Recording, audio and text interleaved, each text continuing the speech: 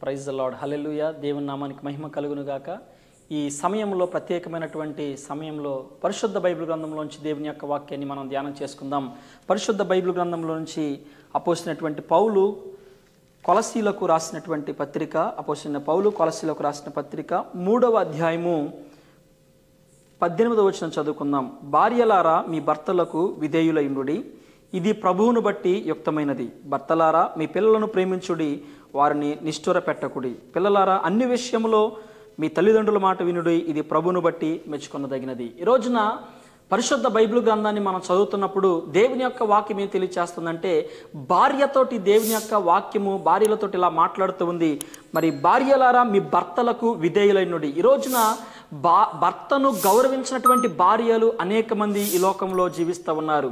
దేవాతి దేవుడు ఏర్పాటు చేసినటువంటి ఐక్యపరిచిన సిద్ధపరిచినటువంటి భర్తను అగౌరవపరుస్తూ తోలనాడుతూ రకరకాలుగా బలహీనమైనటువంటి మాటలు మాట్లాడుతున్న వారు చాలామంది ఈ లోకంలో ఉన్నారు. అయితే ఈ సమయంలో దేవుడు నీతో మాట్లాడుతున్నాడు. చూడండి భార్యలారా మీ భర్తలకు విధేయత కలిగినటువంటి స్త్రీగా నీవు ఉండాలి. ప్రతి సందర్భంలో కూడా లేఖన భాగం మాట్లాడుతుంది. ఒక ఆరోగ్యకరమైనటువంటి శ్రేష్టకరమైనటువంటి కుటుంబ దాంపత్య జీవితాన్ని చూడాలని ఒక భార్యగా నువ్వు ఆశపడితే నీ భర్తకు నీవు విధేయత కలిగి ఉండాలి.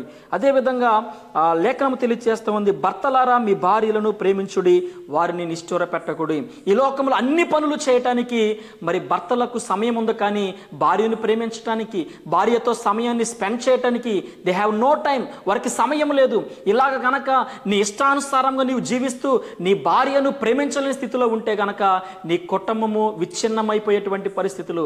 ఈ రోజున దేవుని యొక్క వాక్య ప్రకారంగా నీ కుటుంబాన్ని కట్టుకుంటే నీ కుటుంబంలో సంతోషము సమాధానము ఆనందము సమృద్ధి నిరంతరము కూడా నీ కుటుంబంలో జీవించి నిలిచి ఉంటుందని దేవుని దేవుని యొక్క నామాన్ని బట్టి లేఖనాల ద్వారా నీతో మాట్లాడుతున్నాను భార్యలైనా భర్తలైనా మీ యొక్క దాంపత్య జీవితం వర్ధిల్లాలి అంటే భార్యలు భర్తలకు విధేయత కలిగి ఉండాలి భర్తలు భార్యలను ప్రేమించాలి. తర్వాత కింద మాట మనం చదువుకున్నట్టయితే పిల్లలారా అన్ని విషయంలో మీ తల్లిదండ్రుల మాట వినుడి. ఈ రోజున పిల్లలు తల్లిదండ్రుల మాట వినకుండా వారి ఇష్టానుసారమైనటువంటి జీవితాన్ని జీవిస్తూ లోకానుసారమైనటువంటి మార్గంలో వారు ప్రయాణం చేస్తున్నారు. యవ్వన జీవితాన్ని పాడు చేసుకుంటున్నారు. ఈ రోజున నీ తల్లిదండ్రుల మాట వినకుండా నీ ఇష్టానుసారంగా నీవు జీవిస్తే నీ జీవితం నాశనం అయిపోద్ది. నాశనం అయిపోయిన తర్వాత సమయాన్ని పోగొట్టుకున్న తర్వాత నువ్వు వేడ్చిన కన్నీరు కార్చిన ఆ సమయాన్ని తిరిగి నీవు పొందుకోలేవు. ప్రియమైన దేవుని బిడ్డ జాగ్రత్త. దేవుడు తన వాక్యం ద్వారా నీతో మాట్లాడుతూ ఉన్నారు. నిన్ను దర్శించటానికి. తర్వాత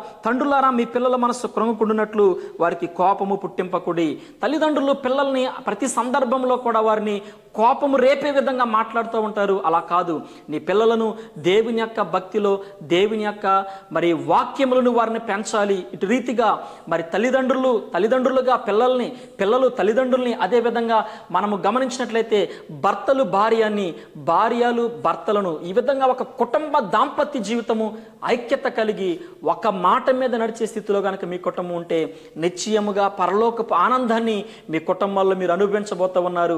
అట్టి దేవుని యొక్క సన్నిధిని నీవు అనుభవిస్తూ నీ కుటుంబము క్రైస్తవ కుటుంబముగా క్రీస్తుకు మాదిరికరమైనటువంటి కుటుంబంగా ఉండాలి అని సంతోషంతో సమాధానంతో ఆనందంతో తొలతోగాలని సేవకునిగా ఆశిస్తూ ఈ మాటలు మీకు తెలియచేస్తున్నాను. ఒకవేళ ఏదైనా మార్పు మార్చుకోవాల్సినటువంటి పరిస్థితి ఏదైనా ఉంటే ఖచ్చితంగా మార్చుకోండి. దేవుడు మీ కుటుంబంలో గొప్ప కార్యం చేయబోతున్నారు. ఒకవేళ ఈ వాక్య ప్రకారంగా మీ కుటుంబాన్ని కట్టుకోవడం నిర్ణయం తీసుకుంటే కామెంట్ చేయండి కాల్ చేసి మీరు మాకు తెలియచేయండి. ప్రభును బట్టి మిమ్మల్ని బట్టి మేము ప్రార్థన చేస్తాము. దేవుని నామానికి మహిమ కలుగునుగాక. ఆమెన్.